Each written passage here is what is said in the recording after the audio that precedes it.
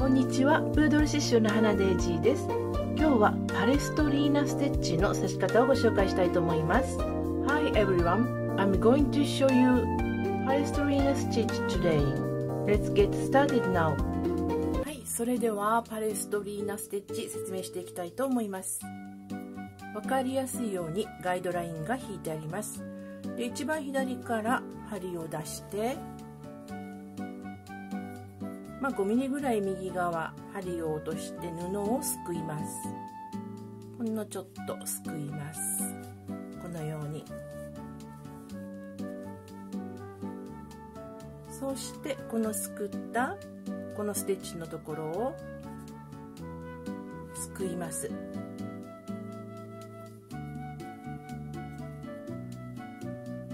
そしてちょっとこう軽く引っ張ると今度えーと、この部分じゃなくてこちらの下側の部分ですね。こちらをこう斜めにすくいます。でその時にこの糸をこうループになってる部分をすくうんですね。そしてこんな感じの塊、えー、結び目ができます。これがパレストリーナステッチです。そしてこれを連続して刺していくんですね。また少し離れた 5mm ぐらい離れたところに針を落として布を少しすくいます。でこのように糸を引きます。そしてこのステッチをすくいます。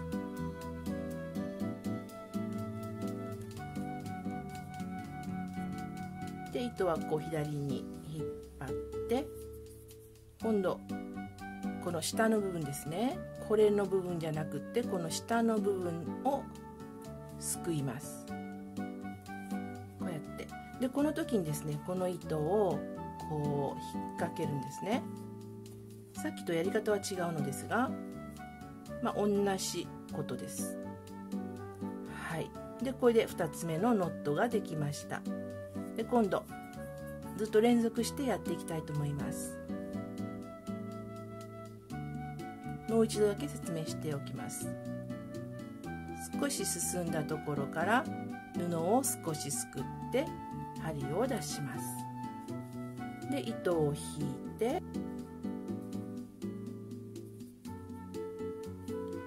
今のステッチのところをすくいます。すくって糸を引きます。この糸を、まあ、左の方にやっておいて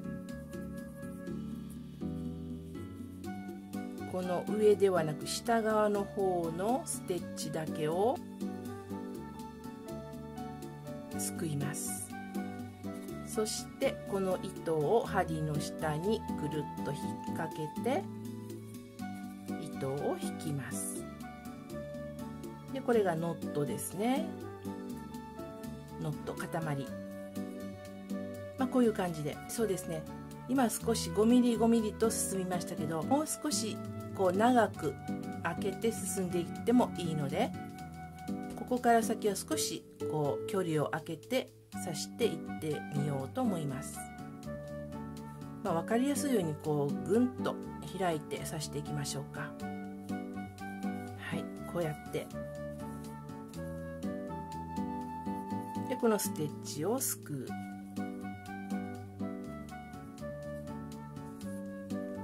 そしてこの上ではなくこの下の分。この下の分だけをこう斜めにすくいます。でその時にこう引っ掛けるんですね。こういう風に。でこれノット。はい。このように。はい。こうすると同じステッチですけどもこう詰めて刺す場合とこういう風に間隔を空けて刺す場合と雰囲気が変わってきます。それではあと残りずっと距離を空けて刺していこうと思います。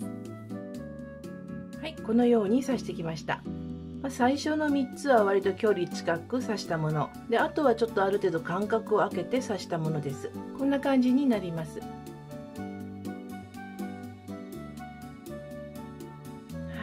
そしたら次はこちらの方に少し刺し方は同じなのですが少し様子の変わった感じ。それをご紹介していこうと思います。はいそれでは今度はちょっと気分を変えてこの色で刺していきます。こ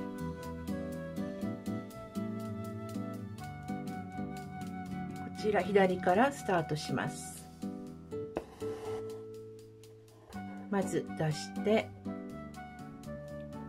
まあ、分かりやすいように少しこれぐらい距離を空けて。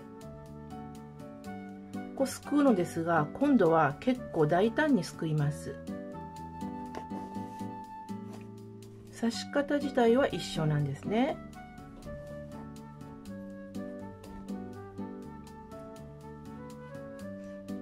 はい。そしてこここの部分をすくいます。この時に糸を針の後ろに引っ掛けます。そうしてこう糸を軽く引いてはいできました。刺し方は同じなのですがここをこう大きくすくうことでこのラインがプラスされた形になるんですね。では連続して刺していこうと思います。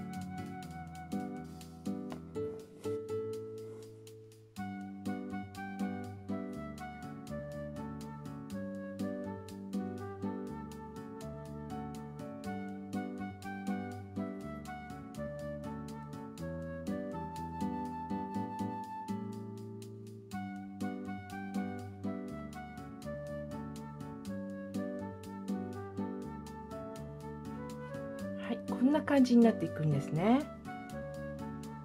この刺し方もこの距離ももっと詰めて刺すとかもっと開けて刺すとかそういうのでも変わってくると思います。